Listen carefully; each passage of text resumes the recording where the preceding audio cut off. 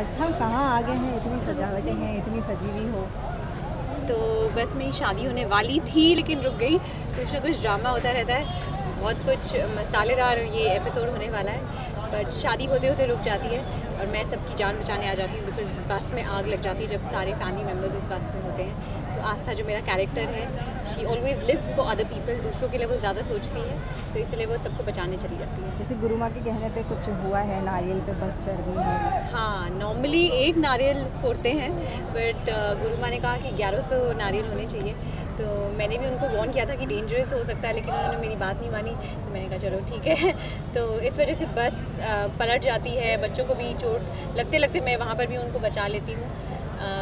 But हाँ तो इसलिए पलट बस पलट जाती है। जैसे एक जगह देखा गया गया है कि आस्था और शिव का भी कुछ ऐसा गिरने का सीन हुआ है तो... हम तब से गिरी हुए हैं मनाली से गिर रहे जो मेरे को पहली बार मिल, मिलते हैं मनाली में अगर आपने एपिसोड देखा तो वहाँ पर भी हम मेरी बाइक बाइसिकल और उनकी बाइक दोनों टकराती है वहाँ पर भी हम गिरे तो मैं कह रही थी कुछ अलग करिए। तब से हम गिर रहे हैं।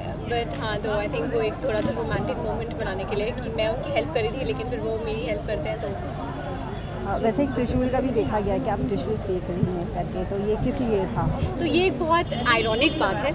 Uh, मतलब कॉन्ट्रास्ट वाली बात है because my character does not believe in God but वो फिर भी भगवान uh, लेकिन भगवान तो मदद करना चाहते हैं आस्था की तो माता उनकी हेल्प करती हैं माँ जो देवी माँ है।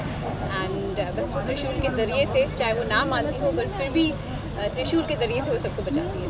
वैसे त्रिशूल की अगर बात करें तो आपसे सीन हुआ नहीं।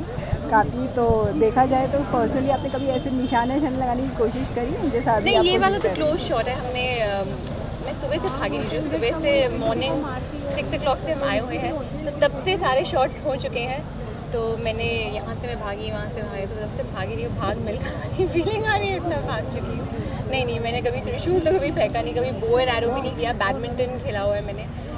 बट uh, चलो एक एक्सपीरियंस था आई रियली एंजॉय जैसे और क्या ट्विस्ट एंड टर्न्स देखने नज़र आएँगे इस शादी के माहौल में? सब मैं बता दूँगी तो आप देखोगे क्या। बहुत कुछ ड्रामा होने वाला है ये तो हर एक फ़ंक्शन में कुछ ना कुछ होता है। तो ये तो बस शुरुआत है। जब तक मेरी शादी होती है मुझे खुद भी सेटिस्फैक्शन नहीं है कि शादी हो रही है। Thank you thank you thank you